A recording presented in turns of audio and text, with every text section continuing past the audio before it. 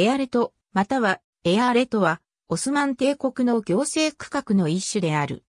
訳語としては、州が用いられる。エアレトの語が用いられるようになるまでのオスマン帝国の最上位行政区画はベーレルベーリクであり、町はベーレルベーであった。1590年代からエアレトが使われるようになり、1867年にビラエトに置き換えられるまで使われた。